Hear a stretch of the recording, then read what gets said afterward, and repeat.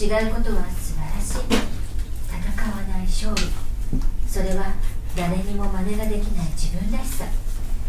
誰かと戦うことじゃない。比べるものでもない。本当の自分に会うためのレッスンは自分の中にあります。一人では分からなかったことも。巡り合う人たちが見せてくれる。心のままに。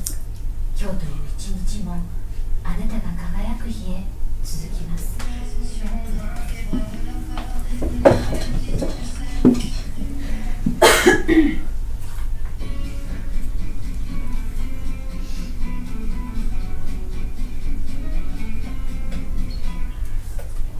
クリスタルイズム。100の音を奏でるクリスタルタイム。毎週金曜日10時からの2時間。どこにもない今までと違う。誰もやらなかったスパイシーな番組です。ハートフルで魅力的な音楽と言葉の世界。メインパーソナリティは下町エレガント男子キリンがご案内いたします。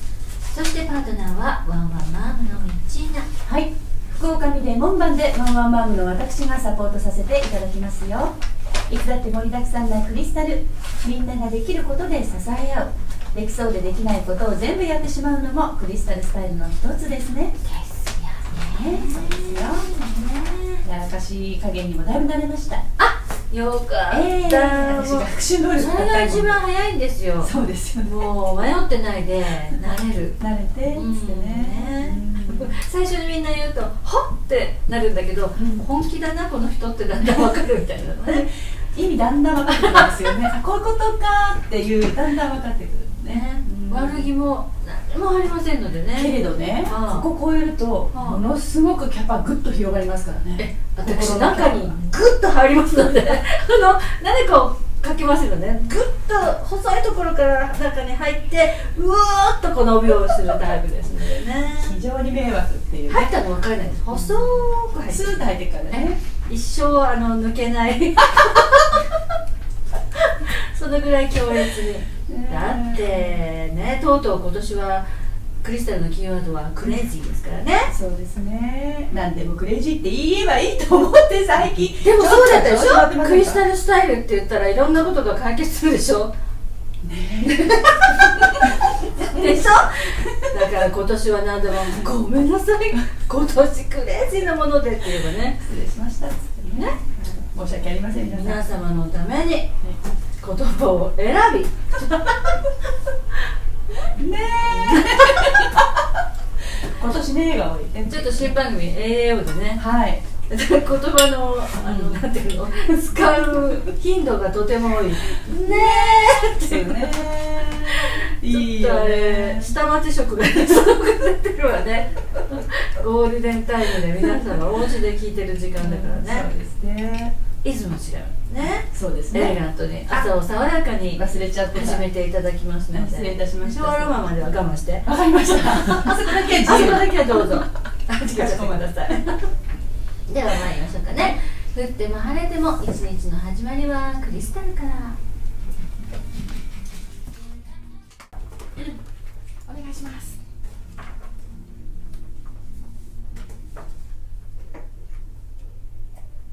それではコンシェルジュさんのコーナーに行きたいと思います。おはようございます。おはようございます。今週もよろしくお願いいたしよろますしくお願いします。はい。であの先週から、はい。あ2週間前からお世話になっております、はい。心とキャニアの伴奏者ヒューマンブレンディの立田直子です。直りです。ナオリンです。よろしくお願いします。願いします、はい。笑っちゃったんで笑っちゃいましたけれども 一応キャッチコピーとして言わせていただきたいと思います。はい。かっこいい。心の伴奏者。はい。いいですねそうですね。あの、うん。カウンセラーとしてもキャリアコンサルタントとしても活動しているので、まあ、キャリアの部分の面談と、まあ、メンタル面の面談とというところで、まあ、両方持って伴走できたらなと思い日々走っております。しております。生き急いでる感じですよ。ちょっと年齢があるのでいやいやいやいや。生き急いでる感じです。はい。まあ今週もあのウィズダムスクールのはい。漏れなく宣伝でお願いしたいと思います。イそうですねあのウィズダムスクールウィズダム H という意味がありえーまさしくまあ懸命にとかまた知識とかあとは分別っていうようなね内容があるんですけど、はい。やっぱりこの分別をする前に先ほどあの桐さんも言ってたんですが、まあ、悩むようになれろと。うーん。はい、いうところでは悩んでるんだったら、まあ、まずは開いてみようよということでやってみることでもしかすると向いてるよっていうことが e ラーニングで発見できるかもっていうぐらいのカリキュラムがいっぱいあります。でもそうですよね、うん。できないかもじゃなくてできるかもって思ういいですねこれね。できないかもじゃない。できるかも。いいですね。はい。という感じであのできるかもと思ったらば、まずはあのスタートしてみる、そうするとキリン姉さんが言っていたように、慣れてきてあなんかもっと勉強したいかも、っん。て思った時には本当にあの400以上のカリキュラムがありますので、すごい。うんまずはウィズダムスクールで開いていただくと、うん。たくさんのコンテンツが出てきますので、えそこから選んでもらって、まあまずは自分にできそうなうんやりたいなって思うところから、うん。まあ強制的ではなく始められるのが e ラーニングスクールっていうところなんですね。はい。でまあ、その中で私もあのコミュニケーションの研修をはい。担当しています、先生なんですね。一応先生なんです、はい。年を重ねながら先生をやっております。大事なことですね。大事なことですね、うん。積み重ねということで。はい、大切かなと思っていますで私は大切にしているのが心理的アプローチを非常に重要と考えていて、うん。要は形だけではなくこの内面がどう人は動いてるかっていうところであの結構傾向ってありますよね、うん。こういう傾向、うんまあ、環境とか経験の中で人って結構思い込みとかもあるのでまずは自己理解をしてみようと自分ってどんな人間なのかなっていうのを、まあ、自己理解をしてもらって、まあ、これを深く知ることで他者理解に自然とつなげて、まあ、より良い本当の意味でのコミュニケーションを、まあ、知っていただくような講座になってます。はい。なので結構あの昨年200名以上の若年層と面談してはい。結構思い込みがねいっぱいあるなぁと。これが取れたらもっともっと仕事楽しくなるしもっともっと人生楽しくなるんじゃないかなって感じたのでやっぱり僕だけ冷たくされているとか私だけなんか教えてもらってない感じがする大変みたいな、ね、そうですねうん。なのでそういった思い込みって誰でもあるんだよっていうところを伝えながらじゃあもう少しこう自己理解を深めて、えー他者にねねさらにまあ理解を深めながら双方向のコミュニケーションを取れるといいねっていうような講座をやっております。うーん。はい。じゃあ結構その講座は若い方さっき若年層っておっしゃったんですけど、若い若めの方が多い。そうですね。あとは思いがけずやはり経営者ですねうん、あの経営者が自分自身がだんだんもしかするとわからない状況になっている可能性もあるのでやはり立ち返ってみたいっていうことで経営者の方々も受講される方もいらっしゃいます。ということでぜひビズダムスクールでネットで検索していただきたいと思います。はい、はい。新しい発見にねつながると思いますのではい、ぜひ検索してみましょう皆さん。はい、今週もありがとうございました。はい。ありがとうございました。なおりんさんです。それでは続いてのコンシェルジュさんです。おはようございます。おはようございます。えー、アロマセラピストのしえちゃん先生こと松崎理恵です。どうぞよろしくお願いします。よろしくお願いします近ですね、インフルエンザにかかったとか、うん。学級閉鎖になってしまったとか、そういったはい声を聞くちらほら聞くようになってきたんですけれども、今日はそんなところであの自宅で作れる免疫力をアップする乳酸菌たっぷりの食品をご紹介しようと思ってます。ん。で皆さんあの乳酸菌っていうとん。ヨーグルトとかうん。ぬかみそ漬けとかそういうものを想像されると思うんですけれども、うん。あんまり皆さんこう馴染みがないかなっていうふうに思うものなんですけれども、えーこちらなんですよ、えーなんだかわかりますか？あの、なんだろはい、韓国発祥のものなんですけれども。う水キムチ。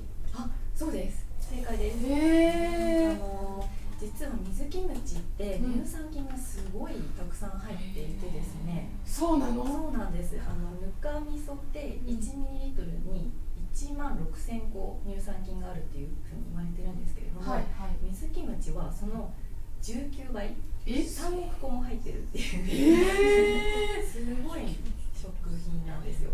そうなんだ。はいでこの水キムチなんですけど、あの自宅に行って本当に簡単にできるんです。作れるんですか？作れるんですよで私あの実はうん。ぬかみそ漬け以前にあのこの水キムチが作れるっていうことを知る前に3回挑戦したんですけれども 3回とも1週間ぐらいで挫折してしまった大変なんですよね。毎日かき混ぜなきゃいけない、うん。ぬかを出さなきゃいけないということで。すごい大変なんですよね。はい、挫折してしまったんですけれどもこれはですね最高で半年ぐらい続いたっていう、ズボラな私でも続けられたっていう私もできるかも。はい。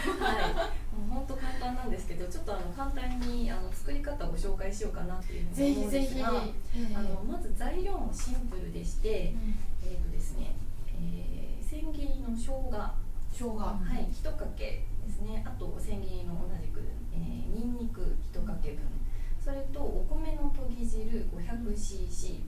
あとは塩と天才糖だけでできるね。材料たったの4つ。あ、ごめんなさい。あと野菜ですね。なんで野菜は何でもいいんですよ。ただできればあの乳酸菌その野菜が持ってる乳酸菌が多い旬の野菜。例えば今の時期ですと白菜なんかは非常にいいかなっていうふうに思うんですね。であの旬の野菜だと農薬をそんなにかけなくてもあの育つので、なるべく農薬使ってない常,、えっと常在菌乳酸菌が多いものを使っていただくといいかなっていうふうに思いますね。そうするとあの発酵がスムーズにいきますので,、であの作り方なんですけれどもこれもシンプルでして。はい。あの白菜でしたらざく切りに切っていただいて、お塩をまぶして、えー、揉み込んでいただく。でしばらく置くとお水が出てくるので絞っていただいてあとはさっきご紹介した材料の中に、えー、1日つけておくだけで自然発酵して、えー乳酸菌にこう発酵が進んでちょっと酸っぱくなってくるので、はいそうしたらもう完成というへ本当に工程も簡単なのでぜひぜひやっていただきたいというか、はい。キムチはなんかすごく手間がかかるイメージが。そうですね。大変なイメージなんですけれども。水キムチは簡単なんですそうねなんですよでこれのいいところはあの自分の手を使ってこう野菜を絞ったりするので、はい自分の持っている常在菌というかあの乳酸菌とか皮膚にもついてますので、そういったものがその自分の持っている菌が増えてくれるっていう点なんですね。そうすると自分に合った自分にい。る部分に変化を出している菌が質問はい質問なんでスタジオから質問が今出てきましたなんで発酵するんですかこの材料でえーっとですね、えー、天才糖を餌にそのもともとこう部屋に住んでいたりとか、人間の皮膚に住んでいる菌がそれを天才糖を餌にすることによって、えー増えていくんですよね。それで発酵が進んでいくっていう自然はい、なのでちょっとあの糖分のあるもの天才糖に限らずこう例えばフルーツのリンゴとかを餌にして発酵を進めるっていうこともできるので、まあ、あの天才糖だったら手軽かなと思ったので、あの今日は天才糖のレシピでご紹介したんですけれども、だそうでございます。ありがとう。はい。そうなんです。でその糖分を入れていくっていうのがはい、大事なポイントですね。はい。そうそれであのこれ研ぎ汁を継ぎ足し継ぎ足しであの繰り返しこう使えるというか、あの一度発酵してしまえばこうお米のとぎ汁をた継ぎ足すだけで、あのまた発酵がスムーズに進むのでどんどん継ぎ足してあの常備できるっていう、はい、そういうメリットもありますし、はい。あとはコストもそんなにかからないので、うん。毎回ヨーグルトを使ってると結構ねそうなんですよ。はい、コストもかさむと思うので、まあ、コストが低いっていう点と手軽にできるっていう点ですごくいいかなっていう、はい、思いますのでぜひぜひ、簡単そうなのではい、やってみましょうみんなで。はい。乳酸菌たくさんとってね。ね、はい。免疫力アップして、はい。これからもぜひ張り切っていただきたいですね。はい。ありがとうございました。ありがとうございます。れいちゃん先生でした。おはようございます。アトリエブレスなでしこ学千恵子です。よろしくお願いします。よろしくお願いします。お寒ございます。お寒うございますね。と言いつつ私すごい暑いんです。よ。タジオの中にもう二人半袖がいるというのに私そんなに来てますので。ね、今日はあの暦の上では大寒ということで一番寒い日とされていますよね。ニュースで聞きましたはい、で関東雪がちらほらするっていう予報で私電車乗ってたら雪降ってたんですよ来る時。そうさっきね私もこの駅降りたらちょっとふわって待ってました、うん。でそれを見越してすごく今日は厚着をしてまして 今まで着てきたことのないあの羽織を着ております、でそれも綿入りなんですよこれ。あら まあったかいなので。後で脱ごうかと思ってるんですけれども。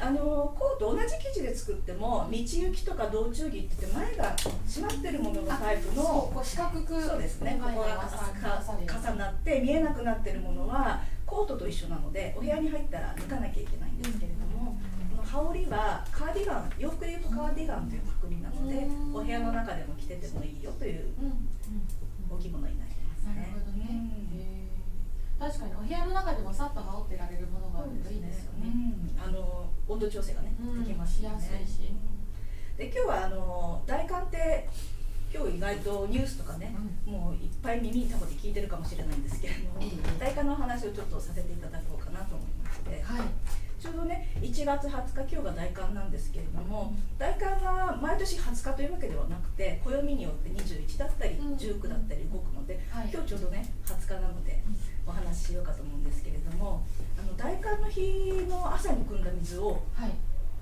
取っとくと1年腐らないって昔は言われたぐらい水が冷たくて雑菌とかが繁殖してないうん。と言われてたぐらいなんですけれどもあのこのみこの時期の水っていうのは寒の水って言ってとてもお料理にいいあの水なんですね。よくうん寒仕込みっていうのを聞いたことあす込みって聞いたことがある。言葉として。お酒とか、はいはい。お味噌とか麹とかのは寒仕込みこの時期にするんですけれども、あの1月の5日ぐらいから、えー節分までを寒の中っていう形ではい。あの言うんですけどもその時期に仕込んだものがやっぱり美味しいということで取り上げると思うんですけれどもこれですねあの水がね冷たくてあのあの寒いところにさらされた方が美味しさが出るっていう食品とかあるんですね。寒いの嫌だと思うんですけれども。でもお野菜とか、意外とこう寒い寒いところでキュッと凝縮っていうんですかね、うん。キュッて締めた方が、寒さを利用しないとできない食品って寒天とかああそうかそうか。氷豆腐とかって今の時期に作るものですよね。うん、であの大寒卵っていうのが実はありまして今日卵ですけれどあのうん昔はね今はあの鶏って品種改良もされてるしいいお家に住んでますから一年中卵を産んでますけど昔は寒くなったらやっぱり体力なくなって卵はあまり産まなかったんですね。うん、で大寒の日って一番寒いっていう時期のくくりになりますので、はい。その時期に卵を産む鶏ってめったにいない数が少ない。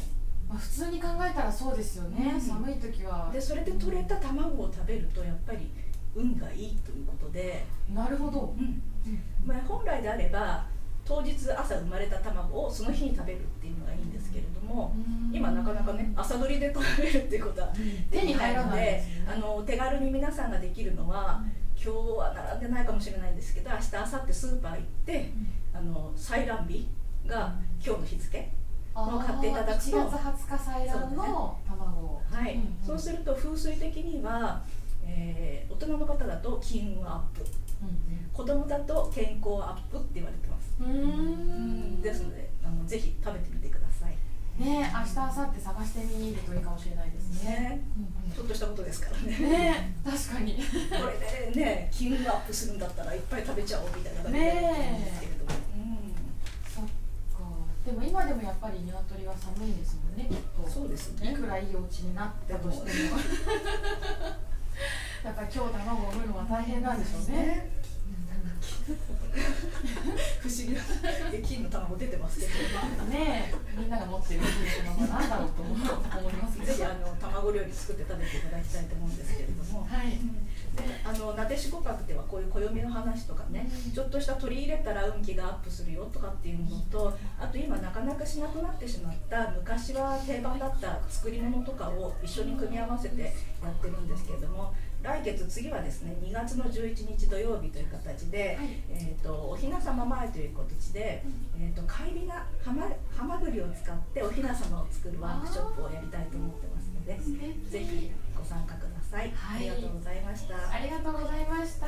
ちえさんでした。そうなんですよね。そうそう。あの今ちえさんです。おはようございます。おはようございます。赤坂で利用センターしております。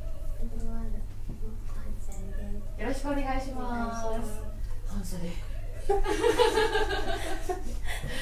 元気な半袖でいらっしゃいました。っていうよりかは、まだあの工事がずっと続いていて、お引っ越しをね、されたから。あのサロンの方はなんとかしてるんですけど、自宅の方はしっちゃくめっちゃか思ったものが出てこない。あるある。まあ手伝だからいいかな。お引っ越しあるあるみたいになっちゃって。そうなんだ。はい。えっとこの間キリンさんがなんか言ってくれたので、あのキ受けたメールがどんなものかっていうのを軽くあ、説明しようかななんてお顔に出てきた柄がはいなくなるっていうあれですね。ぜひぜひ。はい。えっとドクターシェラミックっていうあのところのものなんですけど、はい。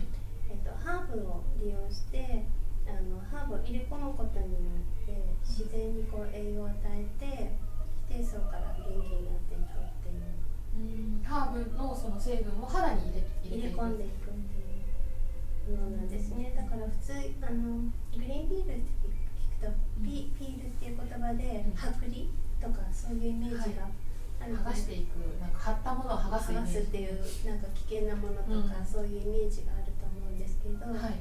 グリーンピールの場合はそういうものではなくて自然に例えば28日周期ではい。花って生まれ変わるのが普通なんですけど、年を取れば年プラス28日になっていくので。なので騒然としましたよ今。みんなそうみんなでケースになってます。あのおしみが出やす。くなったりとかうんあとは怪我した時の色素沈着なかなか元に戻らない時ってがいうのはそういうことなんです。ね代謝が落ちてる証拠けどうんであの基底層に元気が与えられていくとはい。ちゃんと生まれ変わってくるっていうのででうん。キリンさんが受けたのは5日間でうん。じゃあ1回ターンオーバーしちゃいましょうみたいなうん。そういうコースを受けられたんですね。すっごく短くなるってことですよね。そうです。でも今までで年プラス28日みたいな、ね。何年過ごしたんだろうって世界 たまにはそういうのもそうじゃないでしょうかっていう感じで。なるほどね。はいへえちょっと衝撃的な数字でした今。なのであのよくあのお顔にたまたま傷が入っちゃったりとか、そういう場合にとかであの開発されたドイツのものなので、うん怪我とかそういううん、のとかにも効果があるっていうことでもともとはあの開発されたものらしいです。うんドイツのものなんですごい。じゃあそうやってまたねお顔に柄ができちゃったりとか模様がちょっと出てきちゃったりした時はもうさゆりさんに「助けて!」って言いに行けばまだまだでしょ。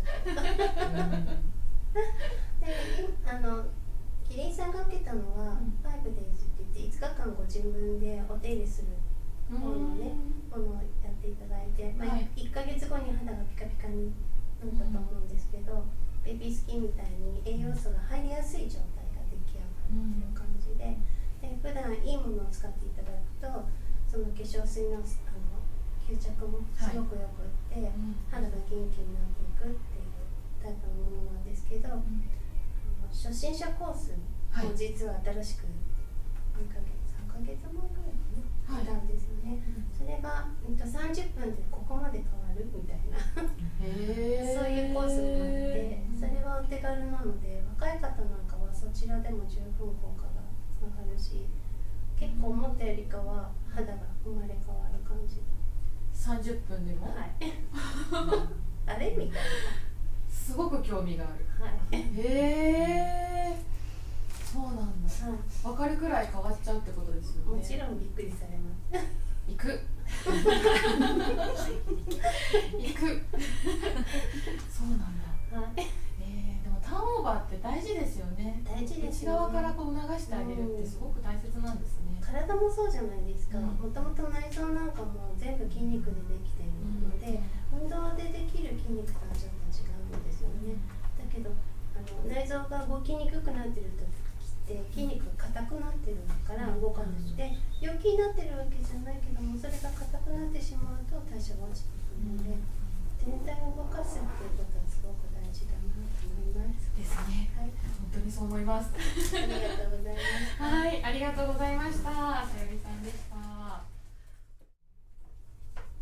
さてさて続いてのコンシェルジュさんに行きたいと思います。はい、おはようございます。お。はようございます。中高年のアンチエイジングサポーター、そしてクリスタル特派員のガッツンです。よろしくお願いします。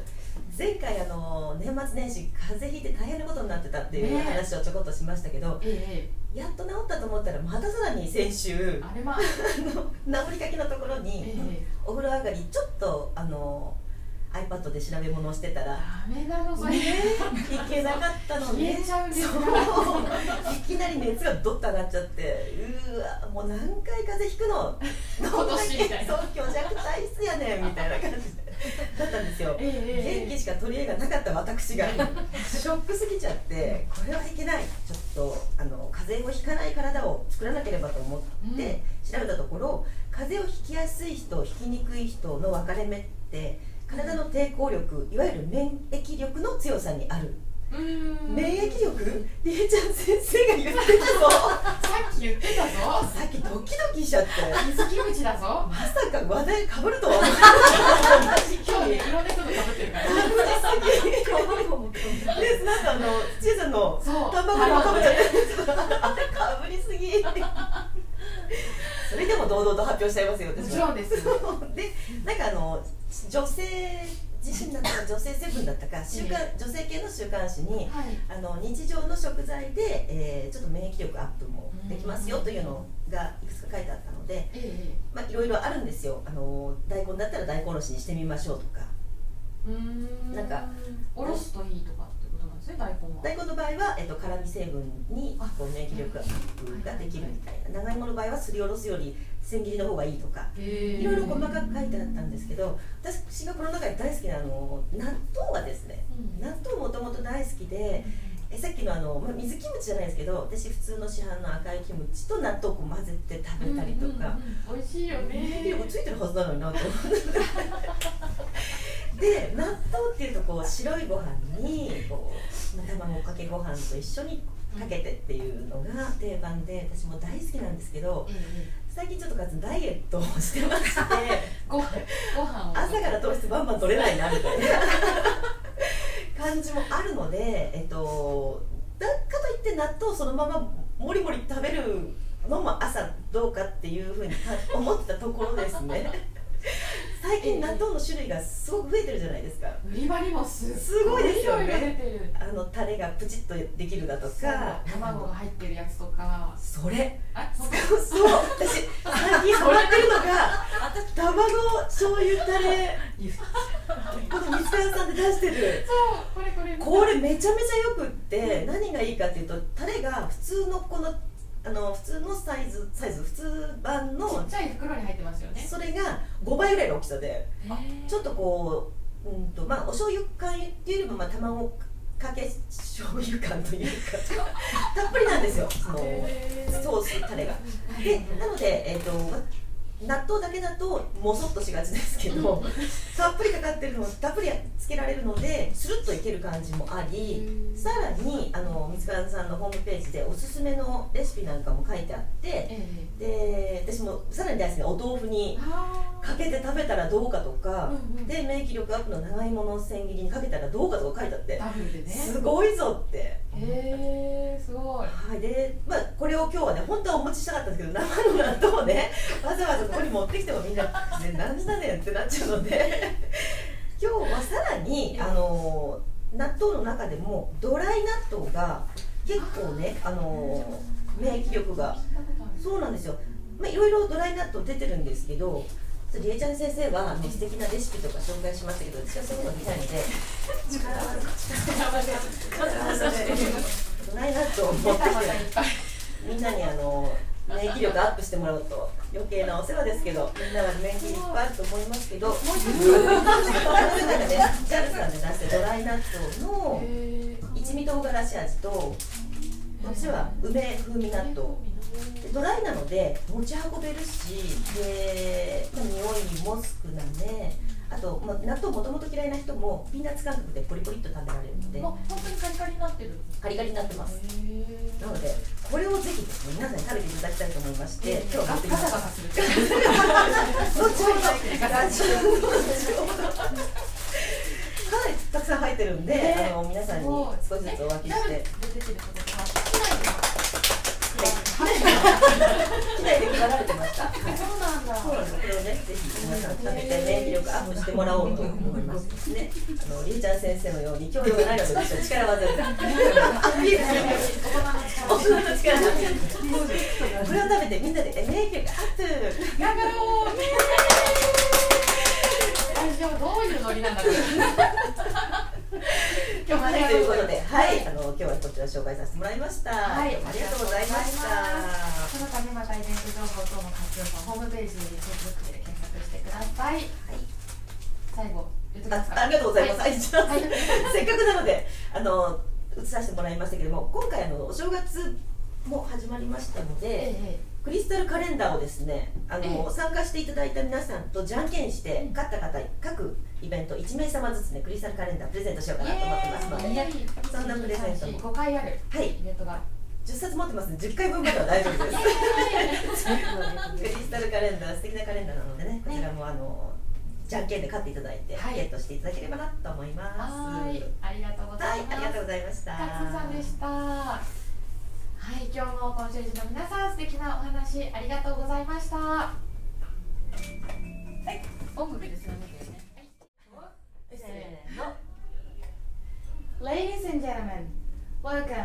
Weekly Crystal Studio Live. This is her second stage. Hope you enjoy it. Please welcome classical singer Mario Aoki.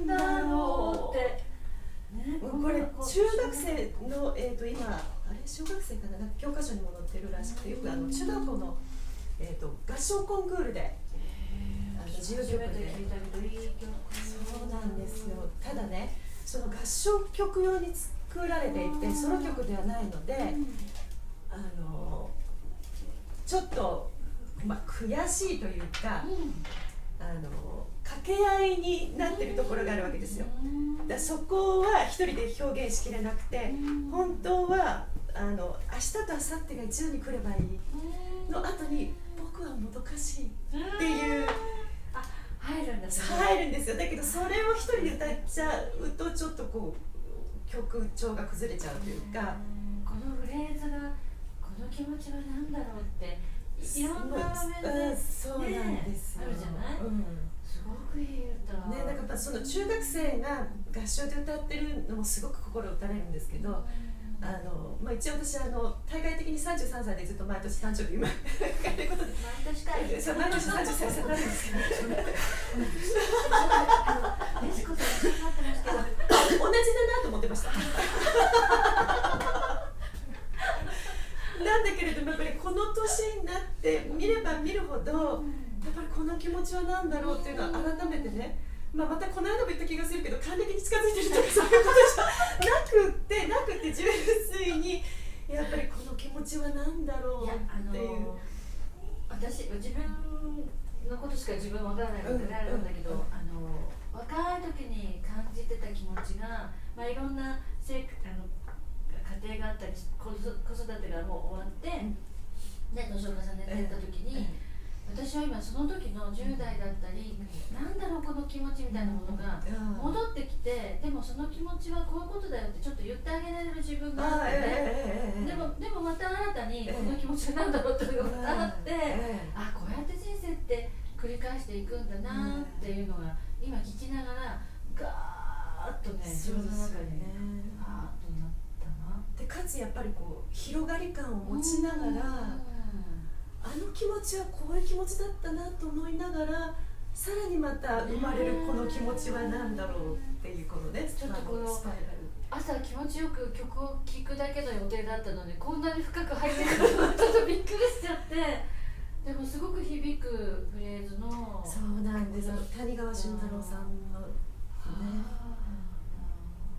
本当素敵な詩が多いですよね多分中学生は何も、まあ、何も分からずにって言ったらちょっと失礼かもしれないけど、ちょっと恋の気持ちとかね、うん。そんなのに重ねてむしろやっぱりこうこ子供の自然そのものの中にまだ属していって、外側から、うん。そうだね、うん。外側から何かこう人間の気持ちを見るっていう狭間にいると思うのでやっぱりある程度年を重ねて外側から見た時にあの客観的にこの気持ちは何だ。ろうね年を重ねるってさすごく素敵なことだよ素敵ね。私本当しみじみ思う本当に私の周りあの参考にしたいあこういうふうに年を取りたいなっていうふうに思わせてくださる女性がたくさん、そうええねっていうかそういう方しかいらっしゃらないので、子供の時見てた30歳っていうとおばちゃんっていう昔は感じがしたんですけれども、今70歳の人でも人生これからかっていう感じ日本の方々も本当海外の方々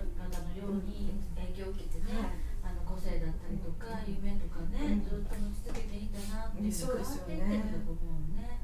素敵な日本の女性も増えましたよね。そうですよね。昔50の手習いって言ったじゃないですか。多分そのうちもうもうすぐ70の手習いとかなって、ずっと思ってるもん何になろうかなって。あそうですよね。本当これから何しようかなとか。ね思いますよね、ね、ほらこういう集が集まるんだか ね。その周波数に引かれて多分ここに座ってるんだと思います。いや今日も素晴らしい曲ありがとうございました。はいよろしくお願いします。ありがとうございました。